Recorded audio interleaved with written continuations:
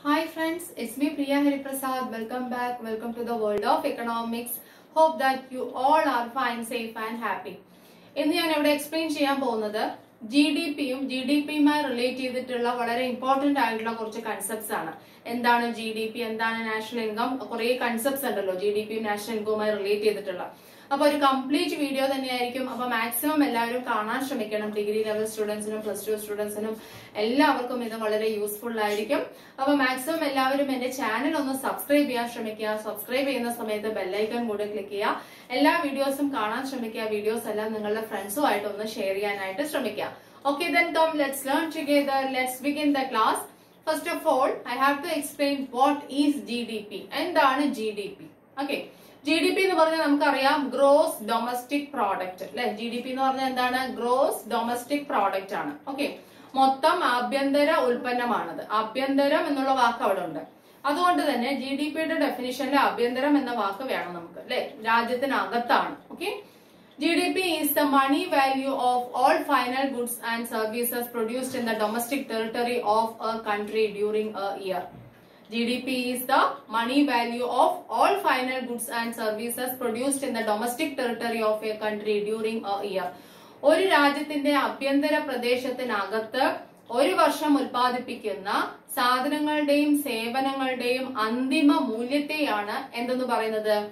G എന്ന് പറയുന്നത്. മൊത്തം ആഭ്യന്തര ഉൽപ്പന്നം എന്ന് പറയുന്നത്. ഒരു രാജ്യത്തിന് ഒരു രാജ്യത്തിന്റെ ആഭ്യന്തര പ്രദേശത്തിനകത്ത് എന്ന് വെച്ചാൽ ആ രാജ്യത്തിനകത്തു മാത്രം അതാണ് പറയുന്നത്. ഓക്കെ അകത്ത് ഉത്പാദിപ്പിക്കുന്ന സാധനങ്ങളുടെയും സേവനങ്ങളുടെയും അന്തിമ സാധനങ്ങളുടെയും അന്തിമ സേവനങ്ങളുടെയും അല്ലെ? സാധനങ്ങൾ എന്ന് പറഞ്ഞാൽ സെമി ഫിനിഷ്ഡ് ഗുഡ്സ് ഒന്നുമല്ല ഫൈനൽ ഗുഡ്സ് ആണ് ഫിനിഷ്ഡ് ഗുഡ്സ് ആണ്. ആ സാധനങ്ങളുടെ പണപരമായിട്ടുള്ള മൂല്യം അതിന്റെ വില വാല്യൂ ഓക്കെ അതിന്റെ ഒരു വർഷത്തിൽ അതിന്റെ എല്ലാം ടോട്ടൽ ആണ് എന്ത് പറയുന്നത്? ജി ഡി പി എന്ന് പറയുന്നത്. ഓക്കെ ഒരു രാജ്യത്തിന്റെ ആഭ്യന്തര പ്രദേശത്തിനകത്ത് ഒരു വർഷത്തിൽ ഉത്പാദിപ്പിക്കുന്ന എല്ലാ അന്തിമ സാധനങ്ങളുടെയും സേവനങ്ങളുടെയും പണപരമായിട്ടുള്ള മൂല്യമാണ് എന്തെന്ന് പറയുന്നത്? ജി ഡി പി എന്ന് പറയുന്നത്. മനസ്സിലായോ? It is the money value of all final goods and services produced in the domestic territory of a country during year അല്ലേ? ഓക്കെ ഇവിടെ ഞാൻ എഴുതിയിട്ടുണ്ട് കേട്ടോ money value of all final goods and services produced in the domestic territory of a country during year okay അപ്പൊ ഞാൻ വീണ്ടും വീണ്ടും പറയുന്നത് നിങ്ങൾ കേട്ട് പഠിക്കാനുള്ളതിന് വേണ്ടിയിട്ടാണ് കേട്ടോ. ഓക്കെ അപ്പൊ നമുക്ക് ജി ഡി പി കാൽക്കുലേറ്റ് ചെയ്യുന്നത് എങ്ങനെയാണ്? G D P is equal to G N P minus net factor income from abroad G D P കിട്ടാനായിട്ട് ജി എൻ പിയിൽ നിന്നും net factor income from abroad minus ചെയ്താൽ മതി. G N P എന്ന് പറഞ്ഞാൽ എന്താന്ന് വെച്ചാൽ money value of all final goods and services produced in a country during a year ഒരു രാജ്യത്തിൽ എന്നേ പറയുന്നുള്ളൂ. ആഭ്യന്തര പ്രദേശത്തിനകത്തെന്ന് പറയുന്നില്ല. എന്ന് വെച്ചാൽ ഒരു രാജ്യത്തിന് വരുമാനം എങ്ങനെയൊക്കെ ഉണ്ടാവും? ഇവിടെ ഉൽപ്പാദിപ്പിക്കുന്ന സാധനങ്ങൾക്കും സേവനങ്ങൾക്കും എല്ലാം വരുമാനമുണ്ട്. അത് കൂടാതെ വിദേശത്ത് ജോലി ചെയ്യുന്ന നമ്മുടെ ഇന്ത്യക്കാരുണ്ടാവുമല്ലോ. ആ വരുമാനം ഇങ്ങോട്ട് വരുന്നുണ്ടല്ലോ. Net factor income from abroad അത് എന്തിനകത്തുണ്ട്? ജി എൻ പിക്ക് അകത്തുണ്ട് പക്ഷെ അത് എന്തിനകത്ത് ഇല്ല? ജി ഡി പിക്ക് അകത്ത് ഇല്ല. മനസ്സിലായോ? ജി എൻ പി എന്ന് പറഞ്ഞാൽ money value of all final goods and services produced a country എന്ന് മാത്രമേ പറയുന്നുള്ളൂ. പ്ലസ് അതിനകത്ത് എന്തുകൊണ്ട് net factor income from abroad വിദേശത്ത് നിന്നുമുള്ള അറ്റ ഘടക ആദായം കൂടി അവിടെ ഉണ്ട്. എന്ന് വെച്ചാൽ നമ്മുടെ ഇന്ത്യക്കാര് വിദേശത്ത് പോയി ജോലി ചെയ്യുന്നില്ലേ? ആ വരുമാനം ഇങ്ങോട്ട് വരുന്നില്ലേ? മനസ്സിലായോ? അതും കൂടെ ഉൾപ്പെട്ടതാണ് ജി എൻ പി എന്ന് പറയുന്നത്. പക്ഷേ ജി ഡി പിക്കകത്ത് അതില്ല. ആഭ്യന്തര പ്രദേശത്തിനകത്തുള്ള സാധനങ്ങളും സേവനങ്ങളുടെയും മൂല്യം മാത്രമേ ഉള്ളൂ. അതാണ് ജി ഡി പി ഡൊമസ്റ്റിക് എന്ന് പ്രത്യേകം പറയുന്നത്. ആഭ്യന്തര പ്രദേശം എന്ന് പറയുന്നത്. നമ്മുടെ ടെറിട്ടറിക്കകത്തുള്ളത്. മനസ്സിലായോ? ഫീൽ ദ ഡിഫറൻസ് ഓക്കെ അപ്പം ജി ഡി പി എന്ന് പറഞ്ഞാൽ ജി എൻ പിയിൽ നിന്നും net factor income from abroad minus ചെയ്താൽ മതി. ജി എൻ പി എന്ന് പറഞ്ഞാൽ രാജ്യത്തിൽ ഉത്പാദിപ്പിക്കുന്ന എല്ലാ സാധനങ്ങളുടെയും സേവനങ്ങളുടെയും മൂല്യമുണ്ട്. അതിനകത്ത് വിദേശത്ത് നിന്നുള്ള വരുമാനം കൂടിയുണ്ട്. Okay net factor income from abroad abroad എന്ന് പറഞ്ഞാൽ വിദേശം അല്ലെ? അവിടുത്തെ വരുമാനം കൂടിയുണ്ട് ജി എൻ പിയിൽ അത് അങ്ങോട്ട് മൈനസ് ചെയ്ത് കഴിഞ്ഞാൽ നമുക്ക് എന്ത് കിട്ടും? ജി ഡി പി കിട്ടും. അപ്പൊ ജി എൻ പിയിൽ നിന്നും net factor income from abroad minus ചെയ്താൽ നമുക്ക് എന്ത് കിട്ടും? ജി ഡി പി കിട്ടും. ഓക്കെ കൺഫ്യൂഷൻ വരാതെ ഒന്ന് റിപ്പീറ്റ് ചെയ്ത് കേട്ടണം കേട്ടോ. That's my request okay then ഇനി അപ്പൊ ജി എൻ പി കിട്ടാൻ നമുക്ക് എന്ത് ചെയ്താൽ മതി? ജി ഡി പിയുടെ കൂടെ net factor income from abroad ചേർത്താൽ പോരെ? ജി ഡി പി ഉണ്ട്. നമുക്ക് ജി ഡി പി കയ്യിലുണ്ടെങ്കിൽ ജി ഡി പി കിട്ടിക്കഴിഞ്ഞാൽ എന്ത് നമുക്ക് കാൽക്കുലേറ്റ് ചെയ്യാം? ജി എൻ പി എങ്ങനെ? ജി എൻ ജി ഡി പിയുടെ കൂടെ net factor income from abroad ചേർത്താൽ മതി. ശരിയല്ലേ? അതല്ലേ ജി എൻ പി എന്ന് പറയുന്നത്.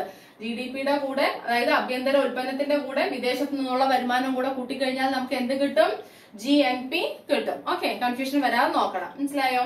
ഇനി അടുത്തത് നമുക്ക് നാഷണൽ ഇൻകം എന്താണെന്ന് നോക്കാം. നാഷണൽ ഇൻകത്തിന്റെ ഒരു സെപ്പറേറ്റ് ടോപ്പിക് ഞാൻ എടുത്തിട്ടുണ്ട്. കാണാത്തൊരു കാണണം methods of measurement of national income by Priya Hariprasad എന്നും പറഞ്ഞിട്ട് ഒന്ന് സെർച്ച് ചെയ്ത് കാണാം. നാഷണൽ ഇൻകം എന്താണ്? എങ്ങനെ നാഷണൽ ഇൻകം കാൽക്കുലേറ്റ് ചെയ്യുന്നതൊക്കെ നമ്മൾ വിശദമായിട്ട് ഞാൻ എക്സ്പ്ലെയിൻ ചെയ്തിട്ടുണ്ട് കേട്ടോ. ഓക്കെ അപ്പൊ ഒന്നും കൂടെ ഞാൻ പറയും. എന്താണ് നാഷണൽ ഇൻകം ചുരുക്കി പറയുകയാണെങ്കിൽ ഇൻകം ഓഫ് എ നേഷൻ അല്ലെങ്കിൽ ഇൻകം ഓഫ് എ കൺട്രി അല്ലെ ഒരു ദേശത്തിന്റെ വരുമാനം ഒരു രാജ്യത്തിന്റെ വരുമാനം എന്ന് നമുക്ക് പറയാം. ഓക്കെ അപ്പൊ അങ്ങനെ പറഞ്ഞാൽ പോരാ. നമുക്ക് എന്ത് പറയണം? Money value of all final goods and services produced in a country during a year അത് തന്നെയാണ് നാഷണൽ ഇൻകം ഒരു രാജ്യത്ത് ഒരു വർഷം ഉൽപ്പാദിപ്പിക്കുന്ന എല്ലാ സാധനങ്ങളുടെയും സേവനങ്ങളുടെയും പണപരമായിട്ടുള്ള മൂല്യമാണ് എന്തെന്ന് പറയുന്നത് നാഷണൽ ഇൻകം ഈ നാഷണൽ ഇൻകത്തിനകത്ത് എന്തൊക്കെ വരുന്നുണ്ട്? Total wage rent wage interest profit എല്ലാം വരും. അതായത് ഫാക്ടേഴ്സ് ഓഫ് പ്രൊഡക്ഷന് കിട്ടുന്ന എല്ലാ വരുമാനവും എന്തിനകത്ത് വരും? നാഷണൽ ഇൻകത്തിനകത്ത് വരും. അത് എസ്പെഷ്യലി എടുത്തു പറയണം. ഓക്കെ നാഷണൽ ഇൻകത്തിനകത്ത് നമ്മുടെ ഫാക്ടേഴ്സ് ഓഫ് പ്രൊഡക്ഷൻ ഏതൊക്കെയാണ്? Land labour capital and organisation അവർക്ക് കിട്ടുന്ന റെമ്യൂണറേഷൻ ഏതൊക്കെയാണ്? Rent wage interest and profit ഇതെല്ലാം എന്തിനകത്ത് വരുന്നുണ്ട്? നാഷണൽ ഇൻകത്തിൽ വരുന്നുണ്ട്. ഇതെല്ലാം ടോട്ടൽ ചെയ്യുമ്പോഴല്ലേ നാഷണൽ ഇൻകം കിട്ടുന്നത്? ആണല്ലോ. ഓക്കെ അപ്പൊ നാഷണൽ ഇൻകം എന്ന് പറഞ്ഞാൽ money value of all final goods and services produced in a country during a year തന്നെയാണ് പക്ഷെ അതിനകത്ത് എന്തുണ്ടെന്നാ പറയുന്നത് എല്ലാം ഉണ്ട് വേജും റെന്റും ഇൻട്രസ്റ്റും പ്രോഫിറ്റും തുടങ്ങിയ എല്ലാ വരുമാനങ്ങളും കൂടെ കൂടി ചേരുന്നതാണ് എന്തെന്ന് പറയുന്നത് നാഷണൽ ഇൻകം എന്ന് പറയുന്നത്. സാധനങ്ങളുടെ മാത്രമല്ല സേവനങ്ങളുടെ മൂല്യം കൂടെ ദേശീയ വരുമാനത്തിലുണ്ട്. ആ സേവനങ്ങൾ എന്ന് പറയുന്നത് ഏതാണ്? ടീച്ചർ ഡോക്ടർ ലോയർ എഞ്ചിനീയർ അങ്ങനെയുള്ള അവരുടെ അതൊക്കെയാണ് സേവനങ്ങൾ എന്ന് പറയുന്നത്. അതിന്റെ മൂല്യം അവർക്ക് കിട്ടുന്ന ആ മൂല്യം സാലറി ആയിക്കോട്ടെ എന്തായിക്കോട്ടെ അതും കൂടെ എന്തിനകത്തുണ്ട്? നാഷണൽ ഇൻകത്തിനകത്ത് ഉണ്ട്. മനസ്സിലായല്ലോ? ഓക്കെ ഇനി എൻ എൻ പി എന്താണെന്ന് നോക്കാം? എൻ എൻ പി കിട്ടാൻ എന്താണ് ചെയ്യാം? N N P is equal to G N P minus depreciation N N P എന്ന് പറഞ്ഞാൽ net national product N N P എന്ന് പറഞ്ഞാൽ എന്താണ്? നെറ്റ് നാഷണൽ പ്രോഡക്റ്റ് ഓക്കെ അറ്റ ദേശീയ ഉൽപ്പന്നം. ഈ എൻ എൻ പി കിട്ടാനായിട്ട് ജി എൻ പിയിൽ നിന്നും ഡിപ്രീസിയേഷൻ മൈനസ് ചെയ്താൽ മതി. ജി എൻ പി നമുക്ക് ഓൾറെഡി അറിയാം. അപ്പൊ ജി എൻ പിയിൽ നിന്നും ഡിപ്രീസിയേഷൻ എന്താണ് ഡിപ്രീസിയേഷൻ തേയ്മാനം. എന്താണ് തേയ്മാനം? Wear and tear of capital assets അല്ലെ? മൂലധന സാമഗ്രികൾക്ക് ഉണ്ടാവുന്ന ഒടിവും ചതവും തേയ്മാനം വിയർ ആൻഡ് ടിയർ അതിനെയാണ് നമ്മൾ എന്തെന്ന് പറയാ? എന്തെന്ന് പറയാ? ഡിപ്രീസിയേഷൻ എന്ന് പറയാം അല്ലെ? മൂലധന സാധനങ്ങൾ ഉപയോഗിക്കുന്ന സമയത്ത് മെഷീനറീസിനൊക്കെ മെയിന്റനൻസ് വരില്ലേ? നട്ടും ബോൾട്ടും പോവുക ഒടിവും ചതവും എന്നൊക്കെ പറഞ്ഞാൽ അതൊക്കെയാണ് കേട്ടോ. ഓക്കെ അപ്പം അതിനെയാണ് ഡിപ്രീസിയേഷൻ എന്ന് പറയുക അപ്പം ഈ ജി എൻ പിയിൽ നിന്നും ഡിപ്രീസിയേഷൻ മൈനസ് ചെയ്ത് കഴിഞ്ഞാൽ നമുക്ക് എന്ത് കിട്ടും? എൻ എൻ പി കിട്ടും. നെറ്റ് നാഷണൽ പ്രോഡക്റ്റ് കിട്ടും. ഓക്കെ ജി എൻ പിയിൽ നിന്നും ഡിപ്രീസിയേഷൻ മൈനസ് ചെയ്ത് കഴിഞ്ഞാൽ എൻ എൻ പി കിട്ടും. ഓക്കെ ഇനി നോക്കിക്കോളൂ. എൻ എൻ പി അപ്പൊ ഇത് N N P at market price ആണ് ഇവിടെ പറയുന്നത്. ഇനി N N P at factor cost എന്താണെന്ന് നോക്കിക്കോളൂ. N N P at factor cost കിട്ടാനായിട്ട് N N P at market പ്രൈസിൽ നിന്നും ടാക്സും സബ്സിഡീസും മൈനസ് ചെയ്താൽ മതി. Okay N N P at factor cost കിട്ടാനായിട്ട് N N P at market പ്രൈസിൽ നിന്നും ടാക്സും സബ്സിഡീസ് അല്ലെ ഓരോ ഇതിന് സബ്സിഡി ഉണ്ടല്ലോ. അത് രണ്ടും മൈനസ് ചെയ്ത് കഴിഞ്ഞാൽ എന്ത് കിട്ടും? N N P at factor cost കിട്ടും. ഓക്കെ അതൊന്നും കൂടെ ഒന്ന് ഓർത്ത് വെക്കുക N N P at factor cost കിട്ടാൻ N N P at market പ്രൈസിൽ നിന്നും ടാക്സസും സബ്സിഡീസും ഒന്ന് മൈനസ് ചെയ്ത് കഴിഞ്ഞാൽ N N P at factor cost കിട്ടുന്നുണ്ട്. ഓക്കെ ഇനി നമുക്ക് അടുത്ത ഒരു കൺസെപ്റ്റ് പഠിക്കാം. എന്താണ് പേഴ്സണൽ ഇൻകം പേഴ്സണൽ ഇൻകം അല്ലെ? എന്താണ് പേഴ്സണൽ ഇൻകം എന്ന് പറഞ്ഞാൽ? നാഷണൽ ഇൻകത്തിൽ നിന്നും അൺഡിസ്ട്രിബ്യൂട്ടഡ് പ്രോഫിറ്റ്സും നെറ്റ് ഇൻട്രസ്റ്റും മൈനസ് ചെയ്ത് കഴിഞ്ഞാൽ പേഴ്സണൽ ഇൻകം ആയി. നാഷണൽ ഇൻകത്തിൽ നാഷണൽ ഇൻകം എന്ന് പറഞ്ഞാൽ ആ നാഷണൽ ഇൻകത്തിൽ നിന്നാണ് നമുക്ക് പേഴ്സണൽ ഇൻകം കിട്ടുന്നത്. പക്ഷേ അതിൽ നിന്നും എന്തൊക്കെ മൈനസ് ചെയ്യണം? അൺഡിസ്ട്രിബ്യൂട്ടഡ് പ്രോഫിറ്റ് എന്ന് വെച്ചാൽ നമുക്ക് കിട്ടാത്ത ലാഭങ്ങൾ. ആ നാഷണൽ ഇൻകത്തിനകത്ത് എന്തുണ്ട്? എല്ലാവർക്കും ഉള്ള ലാഭമുണ്ട്. പക്ഷെ നമ്മൾ അതിൽ പെടാത്തവരുണ്ടാവുമല്ലോ. എല്ലാ ലാഭവും എല്ലാവർക്കും ഇല്ലല്ലോ. അപ്പൊ നമുക്ക് കിട്ടാത്ത ലാഭങ്ങൾ ഉണ്ടാവും നമുക്കല്ലാത്ത ലാഭങ്ങൾ ഉണ്ടാവും ആ ലാഭങ്ങളും അതേപോലെ തന്നെ നെറ്റ് ഇൻട്രസ്റ്റ് നമുക്കും അല്ലാത്ത ഇൻട്രസ്റ്റ് പലിശ നമ്മളുടേതല്ലാത്തതായിട്ടുള്ള അറ്റ പലിശയും ഇതെല്ലാം മൈനസ് ചെയ്ത് കഴിഞ്ഞാൽ എന്ത് കിട്ടും? ഒരു എമൗണ്ട് കിട്ടും. അതാണ് എന്തെന്ന് പറയുന്നത്? പേഴ്സണൽ ഇൻകം എന്ന് പറയുന്നത്. അപ്പോഴേ ഇൻകം ഓഫ് എ പേഴ്സൺ ഒരു വ്യക്തിയുടെ ഇൻകം ആവുന്നുള്ളൂ അത്. മനസ്സിലായോ? ഇൻകം ഓഫ് എ പേഴ്സൺ എന്ന് പറയുന്നത് ഒരു വ്യക്തിയുടെ വരുമാനമാണ്. അത് എങ്ങനെയാണ് ആ ഒരു വ്യക്തിയുടെ വരുമാനം ആവുന്നത്? ഒരു പേഴ്സന്റെ വരുമാനം ആവുന്നത്? അതിനകത്ത് ആ വ്യക്തിയുടെ വരുമാനം മാത്രമേ പാടുള്ളൂ. അൺഡിസ്ട്രിബ്യൂട്ടഡ് ആയിട്ടുള്ള പ്രോഫിറ്റ്സ് എന്ന് വെച്ചാൽ നമുക്കല്ലാത്ത നമുക്ക് ഡിസ്ട്രിബ്യൂട്ട് ചെയ്യാത്ത പ്രോഫിറ്റ് നമുക്കല്ലാത്ത ഇൻട്രസ്റ്റും ഒക്കെ ഉണ്ടാവും. അതെല്ലാം മൈനസ് ചെയ്ത് കഴിഞ്ഞാൽ ദേശീയ വരുമാനത്തിൽ നിന്നും അതെല്ലാം മൈനസ് ചെയ്ത് കഴിഞ്ഞാൽ നമുക്ക് എന്ത് കിട്ടും?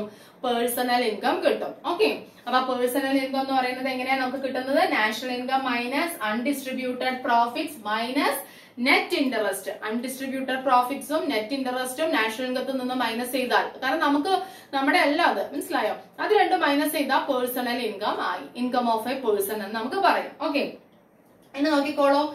പേഴ്സണൽ ഡിസ്പോസിബിൾ ഇൻകം ഓക്കെ ഇനിയിപ്പോ നമുക്ക് എനിക്കിപ്പോ മന്ത്ലി ഒരു സാലറി ഒരു ടെൻ തൗസൻഡ് കിട്ടുന്നുണ്ടെന്ന് വിചാരിക്കുക. അസ്യൂം ചെയ്യാം ഓക്കെ അങ്ങനെ ചെയ്യുന്ന സമയത്ത് ആ ടെൻ തൗസൻഡ് റുപ്പീസും എന്റെ ഡിസ്പോസിബിൾ ഇൻകം ആവില്ല. എന്റെ പേഴ്സണൽ ഇൻകം ആണത് അല്ലെ ആ ടെൻ തൗസൻഡ് റുപ്പീസ് എന്റെ ഇൻകം ആണ്. പക്ഷേ എനിക്ക് ചിലപ്പം എന്തെങ്കിലും ടാക്സ് പേ ചെയ്യേണ്ടി വരും. ടാക്സ് ഉണ്ടാവും. അതേപോലെ എന്തെങ്കിലും ഫൈനോ അങ്ങനെ എന്തെങ്കിലും ഒക്കെ ഉണ്ടാവും. ഇതെല്ലാം പേ ചെയ്ത് ബാക്കി എമൗണ്ട് എനിക്ക് എന്ത് ചെയ്യാൻ പറ്റുള്ളൂ? എന്റെ ഇഷ്ടത്തിന് എനിക്ക് സാധനങ്ങൾ വാങ്ങിക്കാനും എന്റെ കൺസംഷന് വേണ്ടിയിട്ടൊക്കെ ഉപയോഗിക്കാൻ പറ്റുള്ളൂ. അതിനെയാണ് നമ്മൾ എന്തെന്ന് പറയാ? പേഴ്സണൽ ഡിസ്പോസിബിൾ ഇൻകം എന്ന് പറയാം.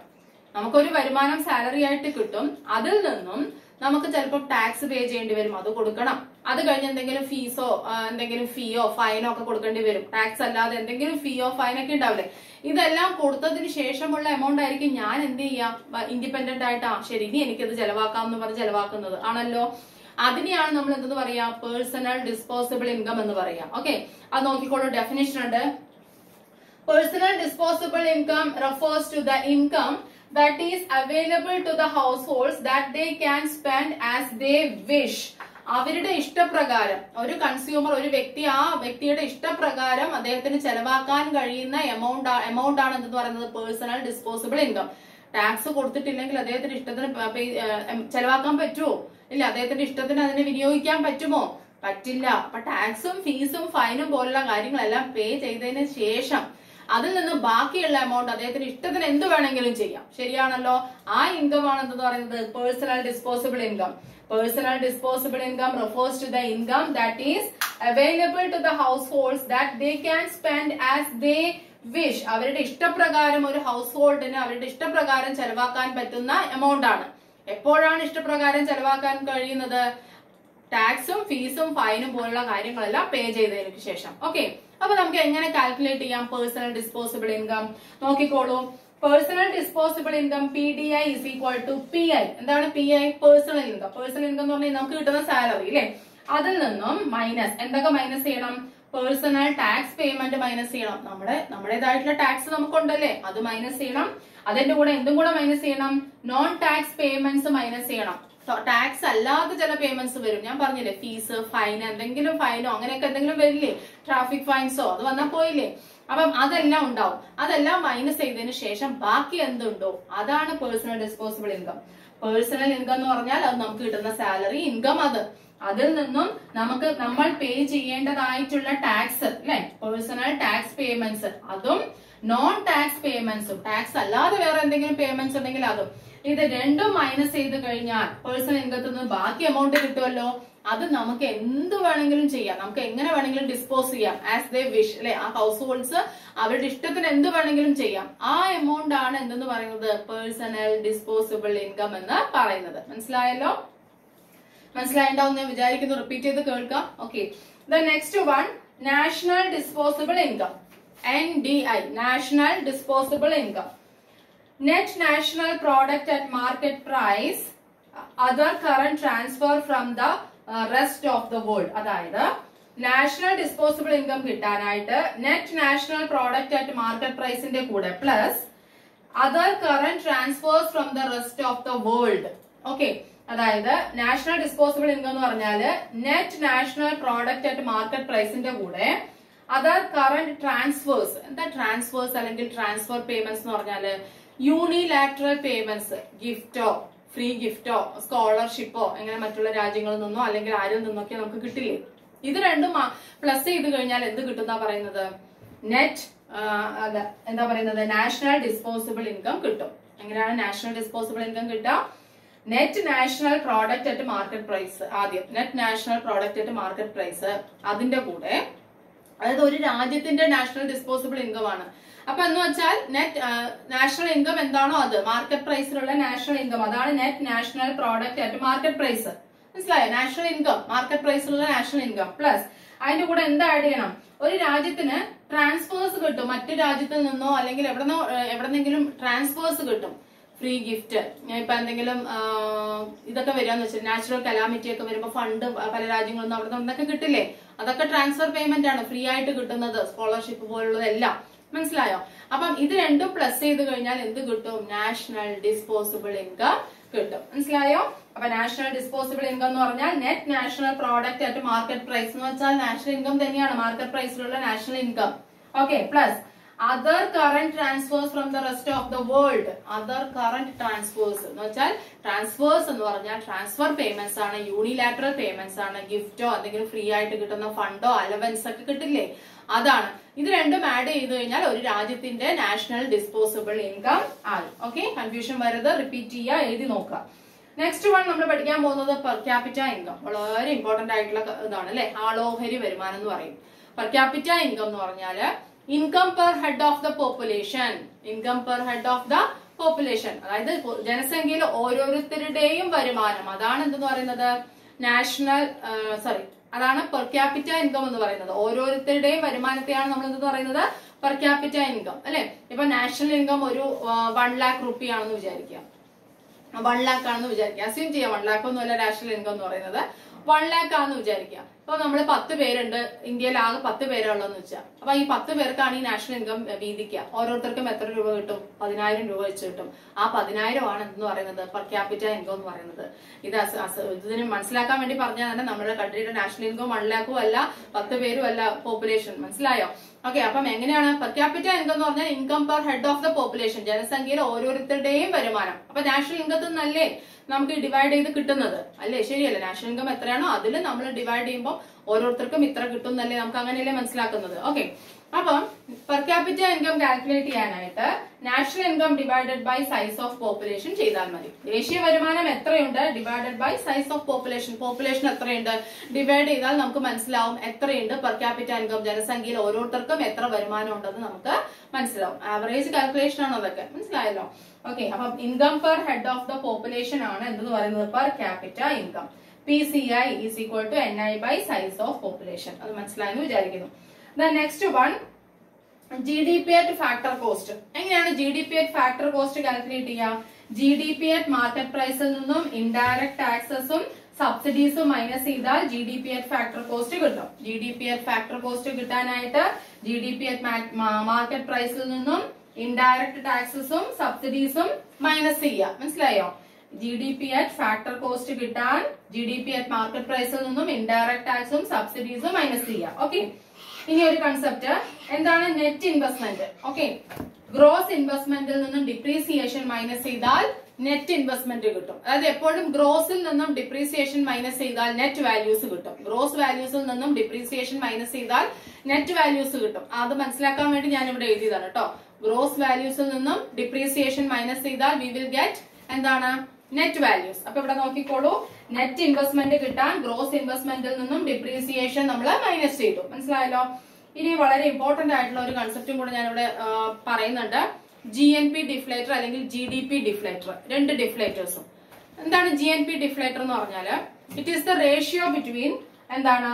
നോമിനൽ ജി എൻ പിയും റിയൽ ജി എൻ പിയും നോമിനൽ റിയൻ പിയും ജി എൻ പിയും റിയൽ ജി എൻ പിയും തമ്മിലുള്ള റേഷ്യോയാണ് ജി എൻ പി ഡിഫ്ലേറ്റർ എന്താണ് G N P deflator is the ratio between nominal G N P and real G N P nominal G N പിയും real G N പിയും തമ്മിലുള്ള ratio അനുപാതമാണ് G N P deflator ഇനി എന്താണ് nominal G N P എന്താണ് real G N P നോക്കിക്കോളൂ nominal G N P എന്ന് പറഞ്ഞാൽ കറന്റ് ഇയർ പ്രൈസിൽ ഇപ്പോൾ നിലവിലുള്ള പ്രൈസിൽ ജി എൻ പി കാൽക്കുലേറ്റ് ചെയ്യുകയാണെങ്കിൽ അതിനെയാണ് നോമിനൽ ജി എൻ പി എന്ന് പറയാം റിയൽ ജി എൻ പി എന്ന് പറഞ്ഞാൽ ബേസ് ഇയർ പ്രൈസിൽ ഒരു ബേസ് ഇയർ നമ്മൾ വെക്കില്ലേ? പ്രീവിയസ് ഇയറിൽ ഏതെങ്കിലും ഒരു വർഷം ബേസ് ഇയർ ആയിട്ട് പ്രൈസ് കാൽക്കുലേറ്റ് ചെയ്യാൻ വെക്കും.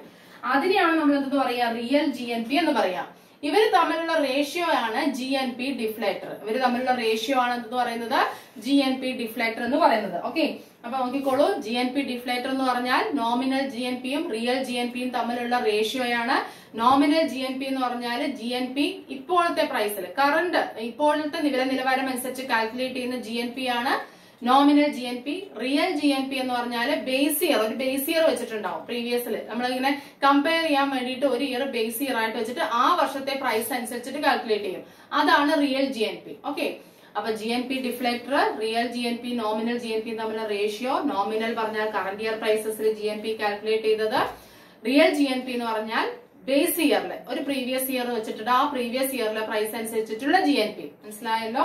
ഇവിടെ എഴുതിയിട്ടുണ്ട്.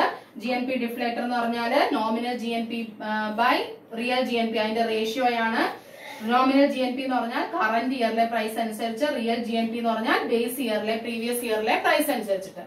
അതേപോലെ തന്നെ ജി ഡി പി ഡിഫ്ലേറ്ററും ഉണ്ട്. എന്താണ് ജി ഡി പി ഡിഫ്ലേറ്റർ എന്ന് പറയുന്നത്? അതായത് നോമിനൽ ജി ഡി പിയും റിയൽ ജി ഡി പിയും തമ്മിലുള്ള റേഷ്യോ എന്താണ് nominal G D P current year പ്രൈസസിലെ G D P value of money value of goods and services calculated in current year price ഇപ്പോഴത്തെ വില നിലവാരം അനുസരിച്ച് കാൽക്കുലേറ്റ് ചെയ്ത G D P nominal G D P previous year base ഇയറിലെ calculate ചെയ്തത് real G D P ഈ nominal G D പിയും real G D പിയും തമ്മിലുള്ള റേഷ്യോ ആണ് എന്തെന്ന് പറയുന്നത്? ജി ഡി പി ഡിഫ്ലേറ്റർ എന്ന് പറയുന്നത്. മനസ്സിലായോ? അപ്പൊ ഞാൻ മാക്സിമം ഇത്രയും concepts G D P national ഇൻകവുമായിട്ട് relate ചെയ്തിട്ടുള്ള ഇത്രയും കൺസെപ്റ്റ്സ് ഞാൻ ഇതിനകത്ത് ഉൾപ്പെടുത്തി. ഏകദേശം കവർ ചെയ്തു ഞാൻ വിചാരിക്കുന്നു. ഇനി കുറച്ച് ബാക്കി എന്തെങ്കിലും ഉണ്ടെങ്കിൽ വേറൊരു വീഡിയോ ആയിട്ട് ചെയ്യാം. കാരണം ഇത്രയും നമുക്ക് ഇതിനകത്ത് ഉൾപ്പെടുത്താൻ കഴിയുള്ളൂ. രണ്ട് മൂന്ന് പ്രാവശ്യം റിപ്പീറ്റ് ചെയ്ത് കേൾക്കാവുന്ന എഴുതി നോക്കുക. വളരെ യൂസ്ഫുൾ ആണ് ഇത് ഡിഗ്രി ലെവൽ സ്റ്റുഡൻസിനും എല്ലാവർക്കും എക്കണോമിക്സ് എന്ന് പറയുന്ന ഒരു സബ്ജക്റ്റ് ഉള്ളവർക്ക് മാക്രോ എക്കണോമിക്സ് പഠിക്കണമെങ്കിൽ ഇതെല്ലാം നമ്മൾ അറിഞ്ഞിരിക്കണം അതുകൊണ്ടാണ്. അപ്പൊ സെപ്പറേറ്റ് ഒരു ഇതായിട്ട് ഞാൻ വീഡിയോ ഒരു ക്ലാസ് ആയിട്ട് എടുത്തത്. അപ്പം ഇതിന്റെ കറണ്ട് റേറ്റ്സ് ഒക്കെ ജി ഡി പിയും അതിന്റെ കറണ്ട് റേറ്റ്സ് ഒക്കെ എങ്ങനെയാണ് പോകുന്നത് എങ്ങനെയാണ് ഗ്രോത്ത് എന്നൊക്കെ ഞാൻ സെപ്പറേറ്റ് ഒരു വീഡിയോയിൽ ചെയ്യാം. അതിനകത്ത് കൺസ്യൂമർ പ്രൈസ് ഇൻഡെക്സും ഹോൾസെയിൽ പ്രൈസ് ഇൻഡെക്സും കുറച്ച് കാര്യങ്ങളും കൂടെ ഞാൻ ഉൾപ്പെടുത്താം. Okay keep watching support my channel വീണ്ടും അടുത്ത വീഡിയോയിലൂടെ കാണുന്നവരേക്കും Sree Priya Hariprasad. Thank you thanks a lot take care bye